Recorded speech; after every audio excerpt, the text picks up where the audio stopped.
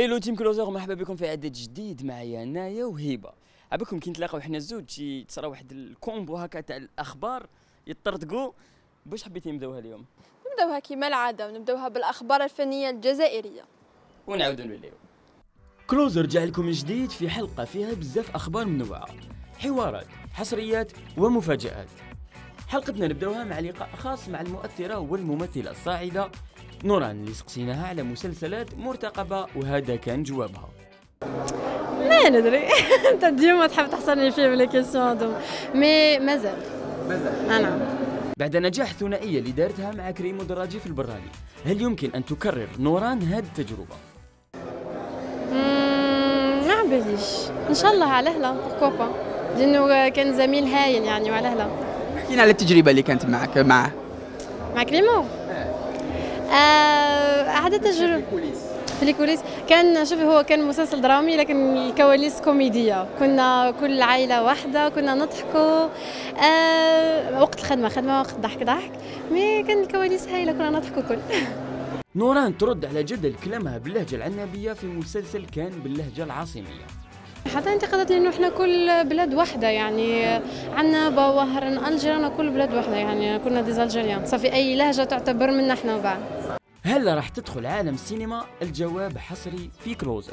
ما بديش والله كاين والله ما بديش أفلام ولا مسلسلات؟ صراحة قلنا يا أفلام يا مسلسلات؟ هكذا. إن شاء الله أفلام ومسلسلات. واش كاين؟ واش اللي نعرض عليه؟ أخباري على برنامج Closer في One TV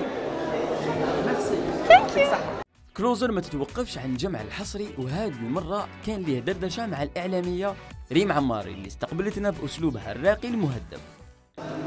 مساء الخير One TV ولكل مشاهدين One TV حبيت اولا نبارك لكم آه، بعيد الاستقلال والشباب آه، تحيا الجزائر وكل عام وبلادنا حرة مستقلة آه، مرفوعة الشان إن شاء الله آه، بالنسبة لهذه التظاهرات آه، اللي نشطها c'est toujours un plaisir d'animer ce genre d'événement et aussi d'être à la rencontre euh, du public. هل ريم تلقات عروض جديدة في التنشيط؟ أكيد كاين عروض راني ندرسها وإن شاء الله كي يكون حاجة جديدة راني نخبركم بها ريم عماري هل تلقى صعوبة بين مهمة الأمومة ومهنة الإعلام؟ آه، في الحق آه، أنا نحاول j'essaie de faire les deux d'être une bonne maman et aussi d'être une bonne journaliste ريم عماري هل تتقلق من تشبيهها بياسمين عماري؟ لا لا لا au contraire euh, d'ailleurs نحيي ياسمين euh, بالمناسبة c'est vrai parfois on nous, on nous confond je ne sais pas si c'est par rapport au nom de famille ou là mais euh, حاجة ط- طريفة كي تصرا تصرا ça arrive je sais pas مانيش oui oui oui بالك je ne sais pas إذا si c'est un lapsus euh, زلة لسان ولا شبهني لها تابعوا أخباري على وان تي في كالعادة مع برنامج كلوزر الموسيقى الجزائرية في المنصات راهي تحمل شعار الصيف صيف والدليل نجاحها في ال tendance الموسيقي في اليوتيوب. في المركز السابع جديد الشاب مومو مع الدي جي عادل واللي يحمل عنوان ديفرنتي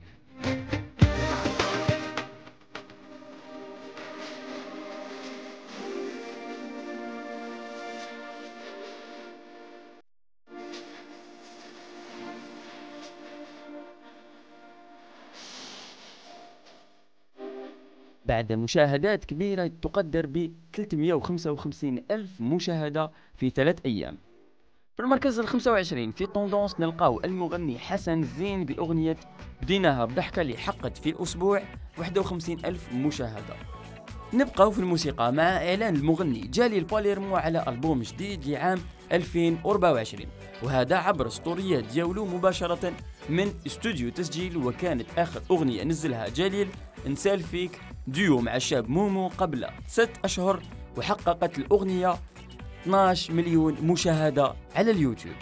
نختم أخبارنا الجزائرية بذكرى ميلاد أميرة الطرب العربي وردة الجزائرية ال 75 ولدت الفنانة وردة الجزائرية في 22 جويلية عام 1939 وبدأت حياتها الفنية ملي كانت صغيرة من فرنسا وبدأت رحلة النجومية في مصر. بعد أن وجه لها المنتج والمخرج حلمي رفلة دعوة عام 1960 وقدمها للجمهور بأول دور بطولة في السينما من خلال فيلم ألمز وعبده الحالمولي في عام 1962 متعت وردة جمهورها في الوطن العربي بأغنيات ما زالت خالدة حتى الآن. من أشهرها لعبة أيام في يوم وليلة. اشتروني ليالينا حكايتي مع الزمن. وحشتوني. اسمعوني أكذب عليك خليك هنا. لولا الملامة العيون السود. حرمت أحبك وبتونس بيك. بعيدا عن الغناء قدمت وردة 11 عمل فني في مجال التمثيل بين السينما والدراما. أبرزها آه يا ليل يا زمن أميرة العرب. حكايتي مع الزمن وصوت الحب. وعلى مستوى الدراما شاركت في مسلسل أوراق الورد وآن الأوان. رحلة وردة الجزائرية عن عالمنا في 17 ماي من عام 2012 عن عمر ناهز 73 سنة. سيدي أحمد على بالك بليك أنا هاد المرة شفت بزاف مسلسلات تركية.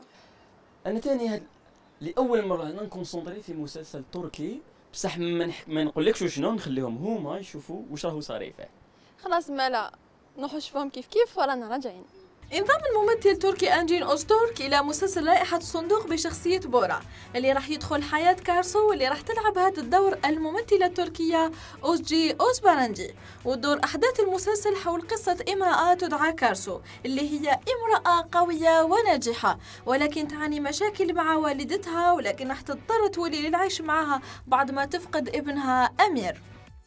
اكتمل تصوير فيلم دحال الرياح واللي كان من بطولة الممثلة التركية هاندا أرتشيل. والممثل التركي باريش أردوتوش جمهور هذا الفيلم راح ينتظروا وقت يطلق في صالات السينما.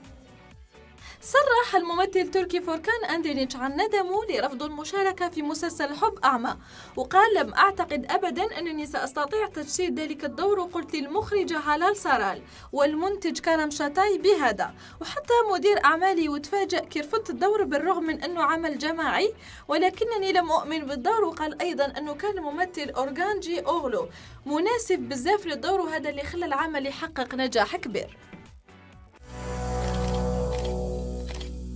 وأنا نديكم البوليود نروحو نشوفو كيف كيف الجديد ديالهم. أكبر إشاعة راهي متداولة في بوليوود إشاعة انفصال إيشواريا راي باتشان.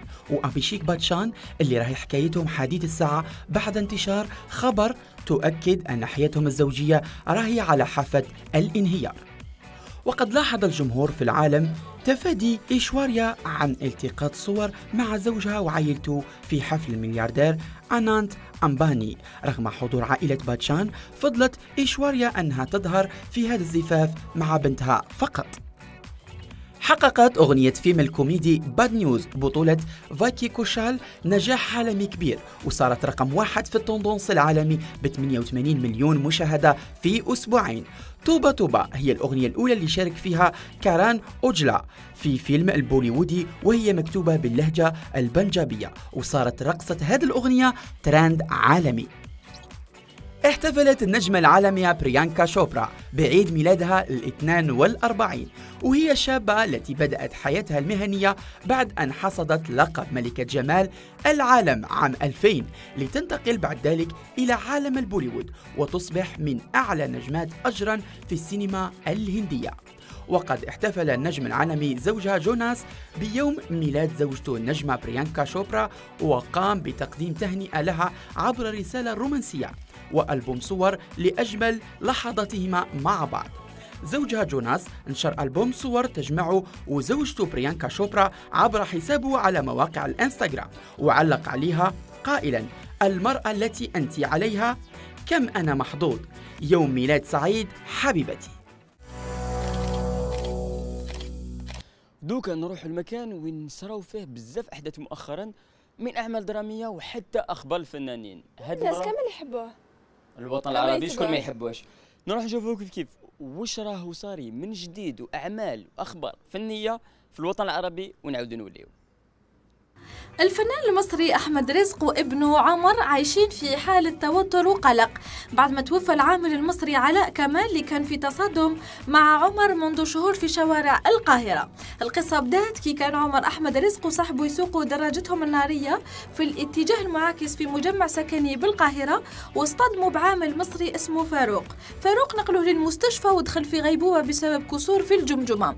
بينما عمر أحمد رزق وصاحبه تعرضوا لإصابات خفيفة. النيابة المصرية كانت أخلت سبيل عمر أحمد رزق بكفالة لكن راح يعاودوا يفتحوا التحقيق بعد ما القضية تحولت من إصابة بالخطأ إلى القتل بالخطأ. وهي جريمة يعاقب عليها القانون المصري بالحبس لمدة ما تقلش عن ستة أشهر وغرامة ما تفوتش 200 ألف جنيه وبأحد العقوبتين.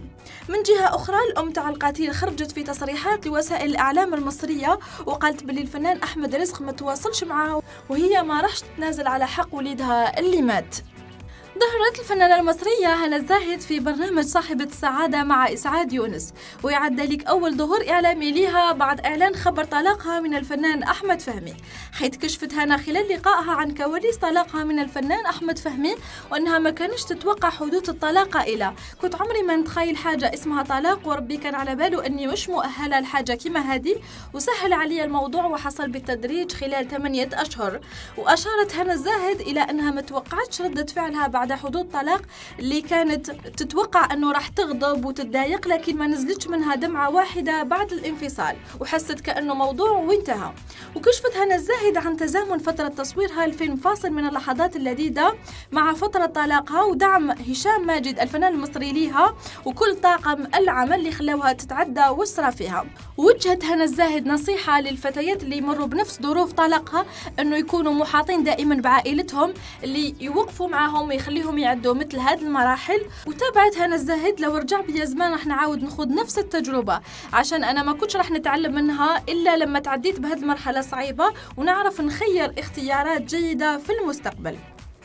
حلت الفنانة نسرين طافش ضيفة على برنامج عندي سؤال اللي قدمه المذيع محمد القيس واللي قالت فيه أنه هناك أشخاص حاولوا اغتيال شخصيتها نفسيا ومعنويا دون أن تكشف عن هوياتهم قائلة. هناك فنانة سورية تحاول أن تؤذيني عبر إطلاق إشاعات حول علاقة تربطني بزوجها وما حصلش حاجة بيني وبين زوجها تغضب ربنا وبعد هذا التصريحات العديد من الصفحات والمواقع رجحت أنه راهي تهضر على الفنانة السورية ديما بياعة. وأكدت نسرين أنها كسبت قضية ضد هذه الفنانة اللي تروج للأكاذيب والإساءة إليها شخصيا. قائلة في فنانة سورية الكل يعرف اسمها ما بتقدر تطلع برنامج إلا وتأذي حدا. طلعت إشاعة عليا من زمان والإشاعة باطلة وكانت إنسانة كاذبة. وكما قالت أيضا على مدى السنوات كانت تحاول هذه الفنانة أن تقنع الناس أني كنت على علاقة بزوجها وهذا لم يحدث أبدا. معقبة لما زوجك يلاحق أنثى عجبته روحي حاسبي زوجك مش الأنثى اللي لاحقها. وتوعدت كل من يؤذيها وقالت له هون بس. مضيفة أن المرأة التي تفشي أسرار زوجها تعتبر خائنة وأن البيوت حرمات ومن العيب أن تخرج فنانة وتتهم زوجها ووالد أولادها بالخيانة. سيد أحمد واش تحب تشوف en général أنا كما كاع المشاهدين نحب يكون عندي فكرة على كاع واش صار في العالم. أنا تاني. ما على بالنا مشاهدينا أنتم تاني تحبوا تشوفوا. ما نخليكم. قولهم. تشوفوا فقرة المتفرقات وهذه الفقرة اللي dédiée باش تقدروا تعرفوا كامل واش راهو صاري في le monde. مالا نشوفوها كيف كيف واش راهو صاري ونعاودوا نوليو. في حفل وصفه نادي ريال مدريد بأنه مشابه أو حتى أكثر أهمية من حفل تقديم البرتغالي كريستيانو رونالدو قبل 15 عام قدم بطل دوري أبطال أوروبا لكرة القدم نجمه الفرنسي كيليان مبابي للجماهير ووسائل الإعلام.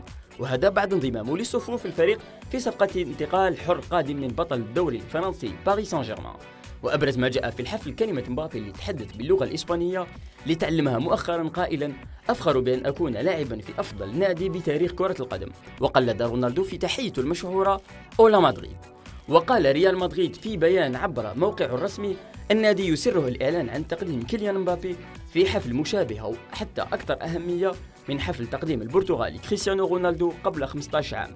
الحفل كان أسطوري حيث حضره 80 ألف مشجع من جماهير ريال مدريد في ملعب سانتياغو بيرنابيو يتقدمهم أساطير النادي وفي مقدمتهم الفرنسي زين الدين زيدان الذي كان بجوار مبابي وقت التقديم ديالو شارك جين نجم الكيبوب الكوري وأحد أعضاء فرقة BTS الغنائية الشاهرة في حمل شعلة أولمبياد باريس 2024 في الجزء الخاص بمتحف اللوفر وحمل معجبون لافتات رحبت بالنجم الكوري.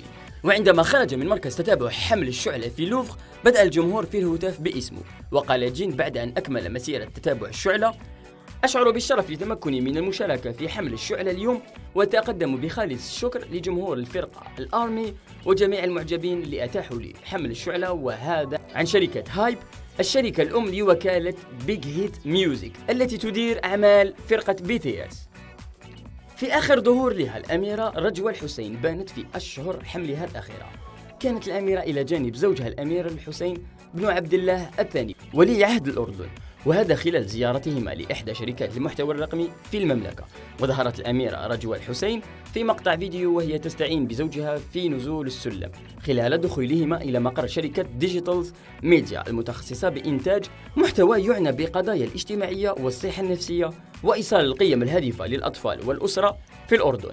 الفيديو حصد آلاف تعليقات في كل الوطن العربي وتنبأ الكثير من المعلقين إلا أن الأميرة تنتظر بنتها لأن حسبهم ازدادت جمالا. أيوه مشاهدينا لحقنا لنهاية العدد تاع اليوم. إن شاء الله كنا خفاف وظرف عليكم. أنا وسيد أحمد. ما علينا غير نقول لكم تهلاو في روحتكم نتلاقوا في عدد جديد.